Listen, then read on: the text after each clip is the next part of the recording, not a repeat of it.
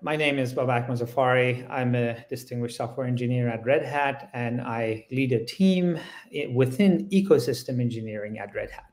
So generally speaking, the scope of what we do in ecosystem engineering is work with partners, and uh, my team is specifically responsible for database partners.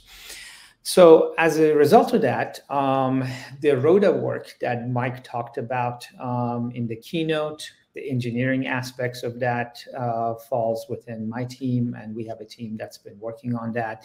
And we've also had a couple of other efforts. Um, I'm going to share a couple of slides and.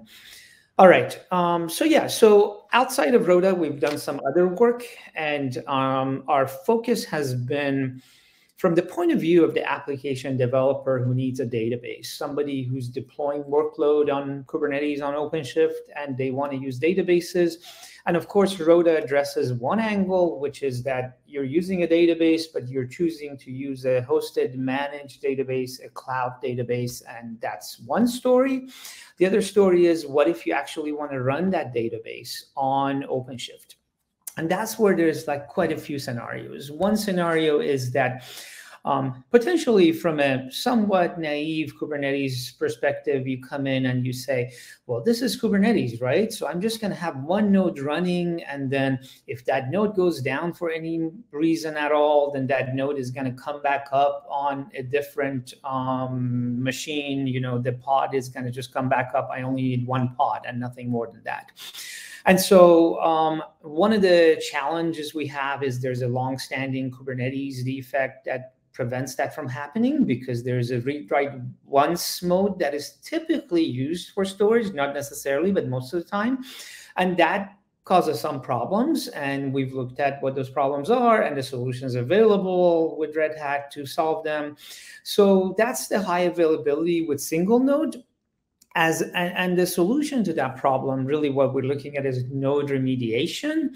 So what happens is if you have one pod and that pod goes down because of the access mode being read write once kubernetes can't really bring up that pod on a different machine because it doesn't it, it has to verify first that that pod actually went down because the o at the end of read write once means only one machine can mount that pod or that claim to that storage for that pod um, so there's a couple of solutions there. There's a machine health check operator and a poison pill operator within OpenShift that um, work together essentially to identify this scenario and to do the recovery in the case of the poison pill operator by rebooting the machine and taking it out of commission, therefore letting Kubernetes know that it's okay to redeploy.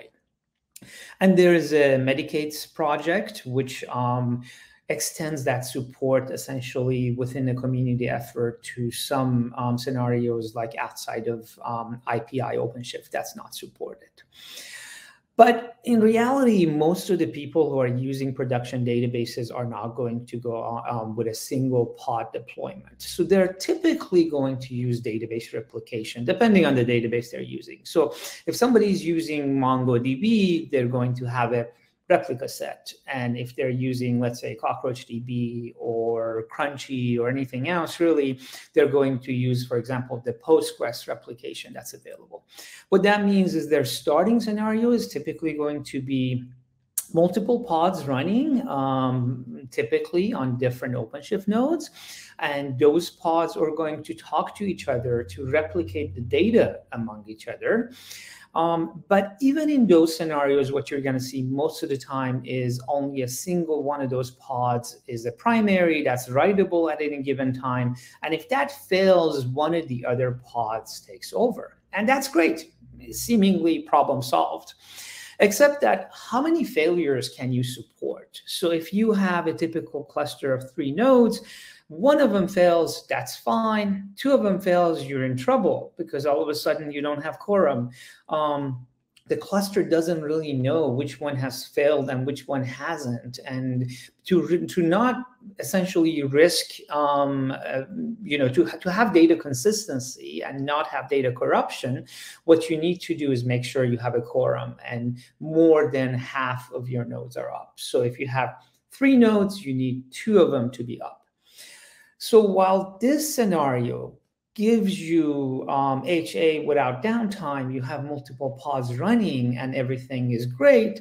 If one of them fails, you need it to recover at some point so that you can sustain another failure. And again, that's what doesn't happen out of the box. And that's why, again, you would be looking to some of those solutions we talked about, like machine health, um, machine health check and um, poison pill operator. So this is some of the work we've been doing around um, high availability. Um, we've done this with some validation of this. We've tested it with CockroachDB, um, which is a cloud native database, with MongoDB replica sets on OpenShift. And in both of these cases, we found the recovery issue is reproduced and the solution has been validated with the solutions I talked about. Um, another thing we've looked at is disaster recovery. Again, this is all work in progress. Um, but we've been looking at disaster recovery with databases. And specifically, one of the scenarios we've been working on is CockroachDB, which has the ability to set up a cross region um, mesh of CockroachDB databases, essentially. So uh, part of the work we've done on this is simplifying the installation and configuration using ACM and Submariner. And you can deploy um, essentially a multi-cluster deployment of CockroachDB across AWS, um, Kubernetes instances, GCP, or on-prem OpenShift, or a combination of all of these. And when you do this in terms of disaster recovery, what you get is like the ideal golden active active scenario where you don't have to rely on backup and restore. Anything goes down, you're going to have the async replication behind the scene having happened already without any data loss.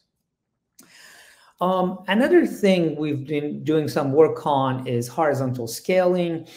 You know, a lot of the positive things that Kubernetes gives you is bringing all those um, basically advantages of a cloud environment to either your own data center or if you're using it in a public cloud, giving you a lot of things out of the box, like having clustering capability and so on. But sometimes if you look at that and you compare it to, um, let's say, a simple VM based you have additional infrastructure, you have additional latency, and you want to make up for it somehow. And one of the ways you make up for it is by having horizontal scaling. And horizontal scaling, one of the scenarios we've been looking at in this case is with MongoDB.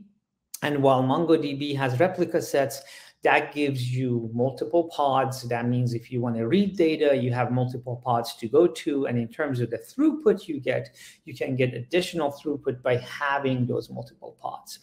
But again, remember I mentioned this earlier, there's only one primary node that you can write to. So because of that, if you have a specific use case where you're writing all the time, it's not that you're writing 20% of the time and reading 80% of the time. In a case like that, MongoDB has a sharding capability, which lets you divide your data among multiple clusters based on a deterministic algorithm. And then what you do is you're always going to one cluster or the other, depending on the data you're dealing with. And based on that, you can essentially get multiple write nodes. And so that's another validation we've done and configuration and so on to see what kind of throughput benefit you can get, which is typically happening after you get three shards up. After that, you're getting horizontal scaling and you can add shards to get higher throughput.